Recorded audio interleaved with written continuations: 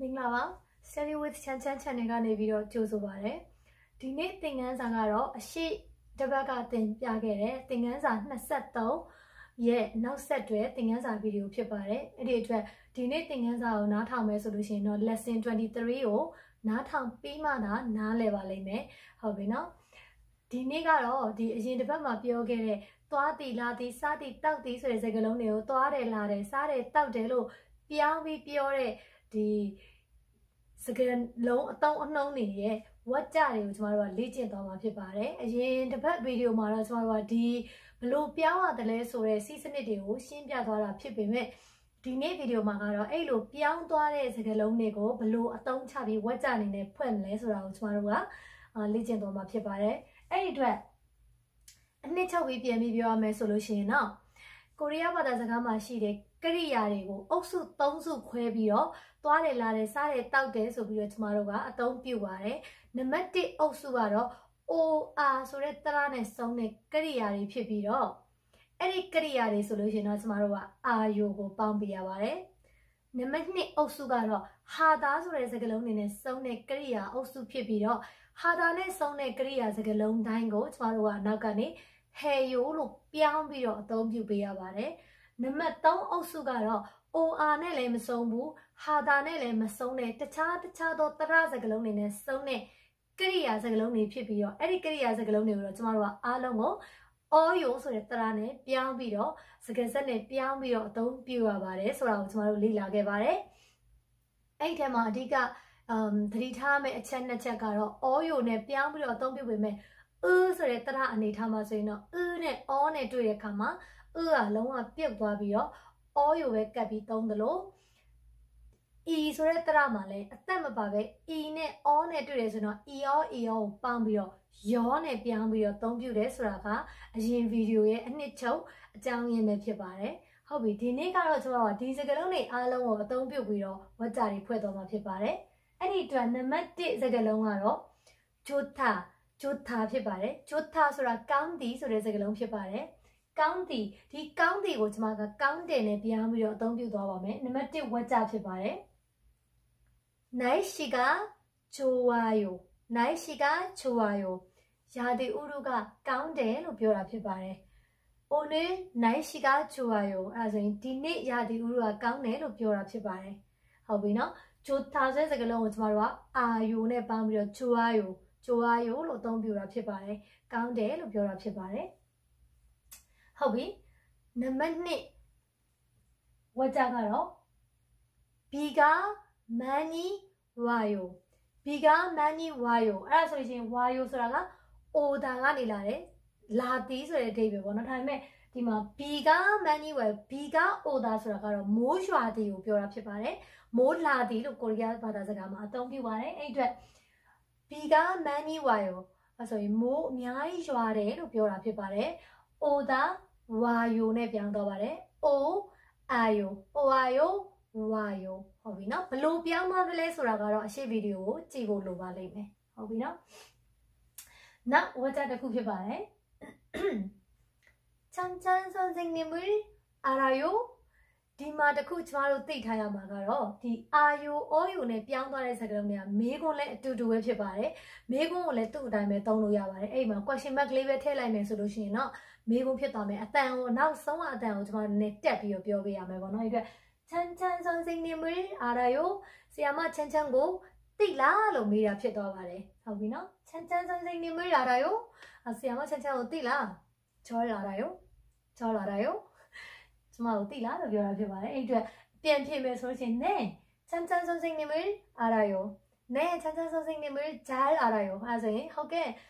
ဆ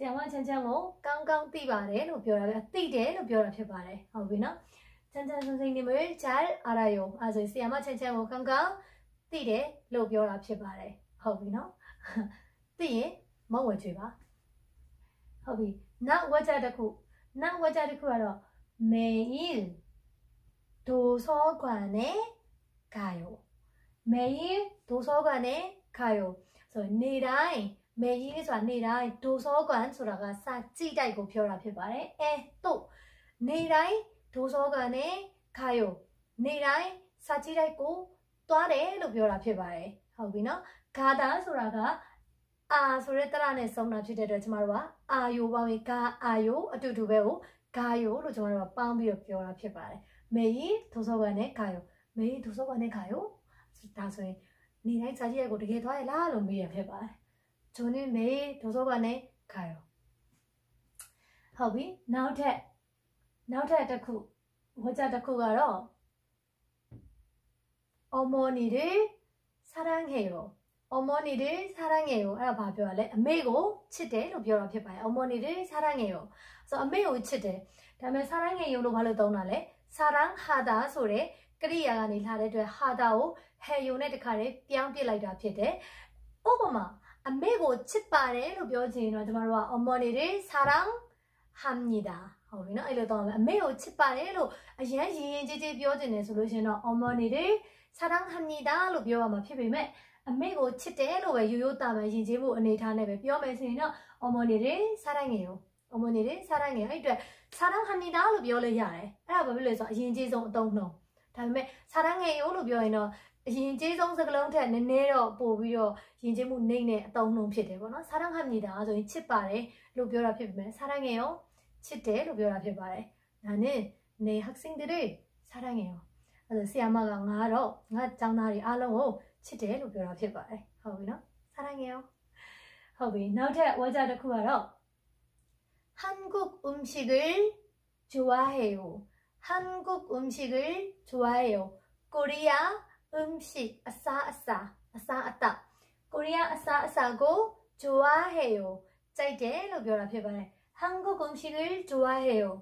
코리아 아사다고 짜이데 코리아 아사사고 짜이데 လို့ပြောတာဖြစ်ပါတယ် 좋아하다 소라가 하다နဲ့ ဆုံးတဲ့အတွက်သူ့ကို ကျမတို့က 해요 နဲ့ပြောင်းပြီးတော့ 좋아해요. 한국 음식을 좋아해요 လို့ပြောတာဖြစ်ပါတယ်ဒီအတိတ်က a or နဲ့ ဆုံးတဲ့စကားလုံးတွေကို 아요 ပေါင်းတဲ့ဟာရဲ့ 하다နဲ့ ဆုံးတဲ့စကားလုံးတွေကို 해요 ပေါင်းတဲ့ဒီ ဝါကြတွေကိုကျမတို့ဖွဲ့သွားတာဖြစ်ပါတယ်နံပါတ်3အုပ်စုထဲမှာပါတယ်ဒီ OR နဲ့လည်းမဆုံးဘူး harder နဲ့လည်းမဆုံးဘူးကြံကြံတဲ့တခြားသရတွေနဲ့ဆုံးတဲ့ကရိယာတွေကို all ကိုပြောင်းတဲ့ဒီဝကြတွေကိုကျွန်တော်တို့လေ့ကျင့်ကြည့်သွားပါမယ်ဟုတ်ပြီနော်အဲ့အတွက်နံပါတ်1ဝကြကတော့ 저는 매일 우유를 먹어요. 저는 mail ဦးယူတွေမော်ဂိုယောကျွန်တော်ကတော့ကျမကတော့ mail နေတိုင်းနေတိုင်းဦးယူဦးယူဆိုတော့ no ဦးယူတွေမော်ဂိုယောတောက်တယ်သူတို့ကစားတယ်လို့တုံးတယ်သူတို့ကအရေကိုလည်းအမ်စားတယ်လို့ပဲတုံးတယ်မြန်မာမှာတော့အရက်တောက်တယ်ဆေးတောက်တယ်အဲ့လိုသုံးတယ်ပေါ့နော်အစားစာဟိုဒီအရေးပါတဲ့ဟာဆိုရင်မြန်မာပြည်မှာတောက်တယ်လို့သုံးပေမဲ့ကိုရီးယားဘာသာစကားမှာပြောင်းပြန်ဖြစ်တယ်အဲ့တော့သူတို့ကစေးစားတယ်အရက်စားတယ်လို့သူတို့ကအသုံးပြုတယ်အဲ့ဒီအတွက် 저는매일우유를먹어요အဲ့ဆိုရင်ငါကကျွန်တော်ကတော့ကျမကတော့နေ့တိုင်းနွားနို့တောက်တယ်လို့ပြောတာဖြစ်ပါတယ်နွားနို့စားတယ်လို့သူတို့ကသုံးတာပေါ့ဟုတ်ပြီနော်မော်ဂယိုမော်ဂယိုမော့တာဆိုတဲ့စကားလုံးဟာအော်ဆိုတဲ့တရနဲ့ဆုံးတာဖြစ်တဲ့အတွက်အိုမဟုတ်ဘူးအာမဟုတ်ဘူးဟာတာမဟုတ်တဲ့အတွက်သူ့ကိုအော်ယိုနဲ့ပေါင်းပြီးတော့မော်ဂယိုလို့ကျွန်တော်တို့ကအသုံးပြုတာဖြစ်ပါတယ်မော်ဂယိုစားတယ်တောက်တယ်လို့ပြောတာဖြစ်ပါတယ်တကယ်လို့စားပါတယ်တောက်ပါတယ်ဆိုရင်တော့ mock စနစ်တာနဲ့အသုံးပြုရလိမ့်မယ် ဟုတ်ပြီနော်자ဒါဆိုရင်နောက်ထပ်ဝါကြတစ်ခုနောက်ထပ်ဝါကြတစ်ခုကတော့ boss는 버스는 날마다 여기에 서요. 버스는 날마다 여기에 서요. 그래서 버스 가가로 နေ့တိုင်းနေ့တိုင်း 매일 နဲ့ 날마다 နဲ့အတူတူပဲ 날마다 နေ့တိုင်းလို့ပြောတာဖြစ်တယ်အဲ့အတွက် 버스는 နေ့တိုင်း 버스 가가 နေ့တိုင်း 여기에 ဒီနေရာမှာ 서요 ရက်တယ်လို့ပြောရမှာအဲ့ဒီ bus ကနေတိုင်းဒီနေရာမှာရက်တယ်လို့ပြောချင်တဲ့အခါမျိုးမှာကျမတို့အသုံးပြုလို့ရပါတယ်ဘောစင်းနိုင်မှာဒါယောဂီရဲ့ဆော့ယောဆော့တာဆိုတာကရက်သည်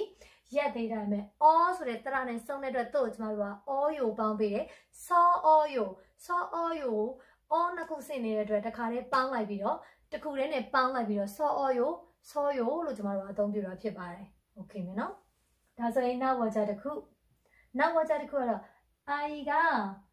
잘웃어요아이가잘웃어요ကလေးလေးကကောင်းကောင်းအရမ်းပဲဥတ္တာဆိုတာရည်သည်ရည်သည်တိုင်းမဲ့ဥစောယုံဆိုရင်တော့ရည်တယ်ကလေးလေးကတကယ်အရည်တန်တာပဲရည်တတ်တာပဲလို့ပြောတဲ့ခါမျိုးမှာသုံးတယ်ပေါ့နော်ဒါက ကလေးကကောင်းကောင်းရည်တယ်လို့ပြောနေတာဖြစ်ပါတယ်ဟုတ်ပြီနော်ကလေးကကောင်းကောင်းရည်တယ်ဥတ္တာဆိုတာကအာရည်တည်ဒါမဲ့ဦးဆိုတဲ့တရနဲ့စုံနေတဲ့အတွက်ကျမတို့ကသူ့ကိုနောက်မှာအောယိုပေါင်းပေးရတယ်ဥ အောယိုဥစောယိုဥစောယိုရည်တယ်ရည်တည်ကနေရည်တယ်ကိုပြောင်းပြီးတော့အသုံးပြုတာဖြစ်တယ်ဟုတ်ပြီဒါကအသက်ပါတဲ့အခြေအနေပေါ့နော်အသက်မပါတဲ့တခြားစကားလုံးဆိုရင်တော့오빠가용동을줘요 정말 그랬으면 좋겠어요. 되게အဲ့လိုဆိုရင်ကောင်းမယ်လို့ပြောရဖြစ်ပါတယ်။ 오빠ကအကိုကဒါသမီးစားတွေချားထဲမှာလည်းတုံးလို့ရတယ်လို့တကယ်မောင်နှမတွေချားထဲမှာလည်းတုံးလို့ရတယ်ပေါ့နော်။ 오빠ဆိုတဲ့စကားလုံးကအဲ့အတွက် 오빠가 용돈을 줘 요. 용돈 소라가 몽보 별라 베데 용돈 몽보 근데 아꼬가 다만 뭐 치도 이사서는 고고가 뭐노 아꼬가 용돈을 줘 요. 몽보 빼래로 별라 베바 주다 소라 빼디 다음에 주 소라가 우드라네 성네 또 저마로와 어요 방위에 돼 주어요 အောယိုပေါင်းပေးရတဲ့အတွက်ဂျူအောယိုဂျူအောယိုပေါင်းပြီးတော့ကျမတို့ကဂျောယိုလို့အသုံးပြုထားတာဖြစ်တယ်အဲ့အတွက်အိုပါကယုံတုံနဲ့ချော်ရောဆိုကိုကိုကအကိုကမုံဘိုးပေးတယ်လို့ပြောတာဖြစ်ပါတယ်ဟုတ်ပြီနော်တကယ်လို့အကိုကမုံဘိုးပေးပါတယ်လို့ပြောချင်တယ်ဆိုလို့ရှိရင်နော်ချင်နေတာနဲ့ပြောရမှာဖြစ်ပေမဲ့ဒီနေ့ကျမတို့လေ့ကျင့်နေတာကတော့အာယိုအောယိုအာယိုအောယိုဆိုတဲ့ယိုယိုယိုနဲ့စုံတဲ့တဲတဲတဲဆိုတဲ့ဒီသရာကိုကျမတို့လေ့ကျင့်နေတာဖြစ်တဲ့အတွက်အလုံးကိုယိုအောယိုအာယိုနဲ့ပဲကျမအသုံးပြုထားပါတယ် 허비. 다섯인 나. 와자르쿠 그 아침마다 음악을 틀어요. 아침마다 음악을 틀어요. 아소이시나 아침 만나킨마다 다이 만나킨다 아침마다 만나킨다 음악을 떼기자고 친구 틀어요. 푸인에 로비오라 표발 틀다 소라 푸인디. 다음에 또한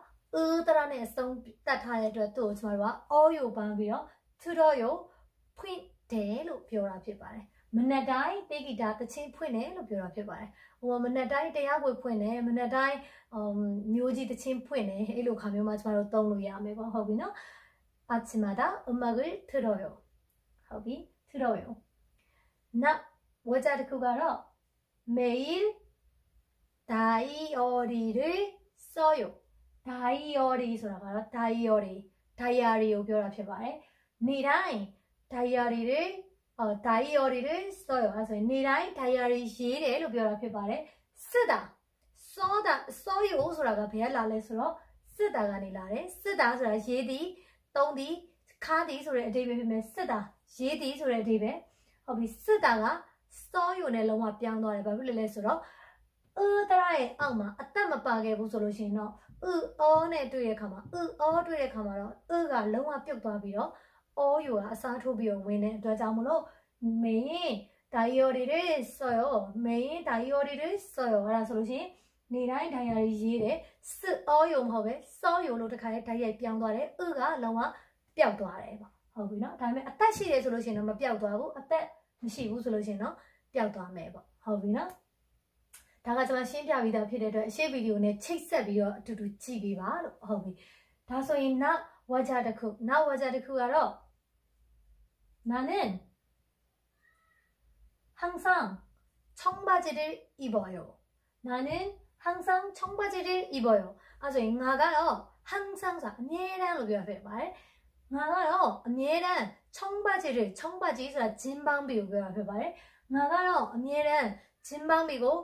with လို့ပြောတာဖြစ်ပါတယ်။ 입다ဆိုတာ with the အဲ့အတွက် 입다 이더라နဲ့ဆုံးထားတာဖြစ်တဲ့အတွက် all ကိုပန်းပြီးတော့ 입어요. 나는 항상 청바지를 입어요. အဲဆိုရင်ငါကနေတိုင်းချင်းမောင်းမီဝတ်တယ်လို့ပြောတာဖြစ်ပါတယ်။ဟုတ်ပြီနော်။နောက်ဝါကြတစ်ခုကတော့찬찬 선생님은 유튜브에서 한국어를 가르쳐요. 찬찬 선생님은 유튜브에서 한국어를 가르쳐요. 아소인 시아마 찬찬가 유튜브에서 유튜브서라 가로 유튜브 고별 앞에 비어 유튜브가 네로 별 앞에 돼 찬찬 시아마가 시아마 찬찬가 유튜브가 네 한국어를 코리아 바다서 가고 가르쳐요. 가르쳐요자 가르치다. 땡자 빼드요. 별 앞에 비면 가르쳐요. 땡자 빼대로 동별 앞에 말해 뒤 가르치다가 치 တယ်ဒီဂါရစ်ချီတာကချီအောယိုချီအောယိုချီအောချီအောအီအောကိုပေါင်းပြီးတော့ယောယိုဖြစ်နေပြောင်းပြီးတော့ဂါရစ်ချောလို့ ဂါရီချိုယိုတင် जा ပေးတယ်လို့ပြောတာဖြစ်တယ်ဒါကဒီစကားလုံးမှမဟုတ်ဘူးတခြားဤတရတွေနဲ့စုံပြီးတော့အသက်မပါခဲ့ဘူးဆိုလို့ရှိရင်တော့အမြဲတမ်းဤရောဤရောရောကိုပြောင်းပြီးတော့အသုံးပြုပေးရမယ်ဟုတ်ပြီနော်ချန်ချန်선생님은 유튜브에서 한국어를 가르쳐요. 시아마 찬찬가 유튜브 간에 ကိုရီးယားဘာသာစကားကိုသင်ကြားပေးတယ်လို့ပြောတာဖြစ်ပါတယ်ဟုတ်ပြီဒါဆိုလို့ရှိရင်တော့ဒါသင်ခန်းစာ23ရဲ့ရှင်းလင်းချက်တွေကိုမူတည်ပြီးတော့ရိုက်ကူးထားတယ်ရှင်းလင်းတင်ပြထားတဲ့သင်ခန်းစာ24အမ်ဒီ WhatsApp ဖွဲ့တဲ့ဗီဒီယိုဖြစ်ပါတယ်အရှိကသင်ခန်းစာကိုနားလည်တဲ့စနေတကျသေချာနားထောင်ပြီးပြီဆိုရင်တော့ဒီနေ့သင်ခန်းစာကခက်မှာမဟုတ်ဘူးလို့ကျွန်မကယုံကြည်ပါတယ်ကျွန်မចောင်းသားတွေနားလည်ရလွယ်အောင်အသုံးပြရလွယ်အောင်ကျွန်မကအတက်နိုင်ဆုံးစ조사ပြီးတော့ တင်ဆက်ပေးထားတာဖြစ်တဲ့အတွက်စနစ်ကျလိုက်နားထောင်မှာတတိချာလိုက်ပြီးတော့လေ့ကျင့်ကြည့်ပါကျွန်မကျင်ညာစရာလေးတစ်ခုရှိပါတယ်အဲ့ဒါကတော့အာတချို့တချို့တွေကျမရဲ့ဗီဒီယိုတွေကို download လုပ်ကြရပေါ့နော်ဒီကိုရီးယားဘာသာစကားကိုသင်ကြားခြင်းတဲ့အတွက်သင်ယူလို့တဲ့အတွက်ကျမခွင့်ပြုပါတယ်တကူတဲ့တူတဲ့ကိုလေ့လာဖို့ရအတွက်ကျမရဲ့ဗီဒီယိုတွေကိုဘယ်သူမှမဆို download လုပ်နိုင်ပါတယ်ကိုယ့်ရဲ့ဖုန်းထဲမှာတင်ထားနိုင်တယ်ကိုယ့်ရဲ့ကွန်ပျူတာထဲမှာတင်ထားနိုင်ပြီးတော့ကြည့်နိုင်ပါတယ်လေ့လာနိုင်ပါတယ်ဒါပေမဲ့ ဒီ download လုပ်ထားတဲ့ဗီဒီယိုတွေကို Facebook မှာပြန်တင်တာမျိုးတခြား SNS မှာပြန်ပြီးတော့တင်တာမျိုးကိုကျွန်မလုံးဝခွင့်မပြုပါဘူးကိုယ်တိုင်ဖုန်းထဲမှာအသုံးပြုနိုင်ပါတယ်ကွန်ပျူတာထဲမှာကြည့်ပြီးလေ့လာနိုင်ပါတယ်ဒါပေမဲ့ Facebook ပေါ်မှာတစုတည်းတပေါင်းနဲ့ပြန်ပြီးတော့တင်တာမျိုးကိုကျွန်မလုံးဝခွင့်မပြုပါဘူးအဲ့လိုအကောင့်တွေကိုတွေ့တဲ့အခါမှာလည်းကျွန်မကိုယ်တိုင်ကတရားဥပဒေနဲ့ဆိုင်တဲ့ဒီလုံဆောင်ချက်တွေကျွန်မလုပ်တော့မှာဖြစ်ပါတယ်ဒါကဘာဖြစ်လို့လဲဆိုတော့ authority လို့ခေါ်တဲ့မူပိုင်ခွင့်ကြောင့်ဖြစ်ပါတယ်ဒီဗီဒီယိုတွေအားလုံးဟာကျမတယောက်တည်းအပင်ပန်းခံပြီးတော့ကျမရဲ့ရုပ်ရည်ကျမရဲ့အသံ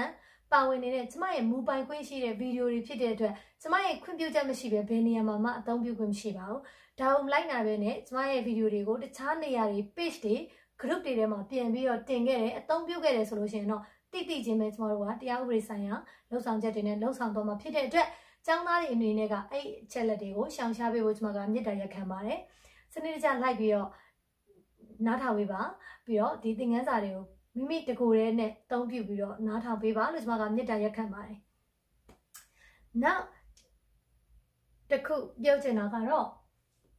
ဒီကျွန်မရဲ့ဆီယာမချန်ချန် YouTube သင်ခန်းစာတွေစာအုပ်ထွက်ပါမယ်။သင်ခန်းစာ1ကနေပြီးတော့သင်ခန်းစာ20လောက်အထိကိုစုပြီးတော့ကျွန်မကစာအုပ်အနေနဲ့တင်ဆက်ပေးတော့မှာဖြစ်ပြီးတော့ စာအုပ်ထဲမှာတော့ကျွန်မသင်ကြားထားတဲ့ဒီ lecture အကြောင်းအရာတွေလည်းပါမှာဖြစ်တယ်လို့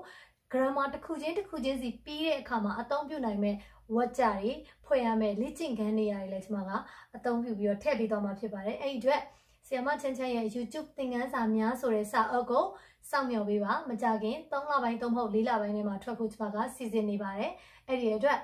ကျွန်မရဲ့စာအုပ်ကိုစောင့်မျှော်ပြီးတော့အားပေးကြပါအောင်လို့ကျွန်မကမေတ္တာရက်ခံချင်ပါတယ် အရှိကကျွန်မရဲ့ဒီကိုရီးယားဘာသာအခြေခံဝဟာရစာအုပ်ကတော့မကြခင်မှာ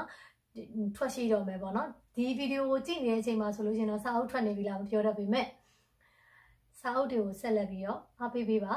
ဒီသင်ခန်းစာတွေကိုလိုက်ပြီးတော့သေချာလေ့လာပေးပါလို့ကျွန်မကတောင်းဆိုချင်ပါတယ်ဟုတ်ပြီဒါဆိုလို့ရှိရင်တော့ဒီနေ့သင်ခန်းစာကဒီလောက်ထိပါပဲသင်ခန်းစာ23ကိုနားထောင်ပြီးရင်နောက်မှာဒီသင်ခန်းစာကိုနားထောင်ခဲ့မယ်ဆိုလို့ရှိရင်တော့အဆင်ပြေပါလိမ့်မယ်အားလုံးကိုနောက်သင်ခန်းစာမှာတွေ့ပါမယ်ကျေးဇူးအများကြီးတင်ပါတယ်တက်တာပါ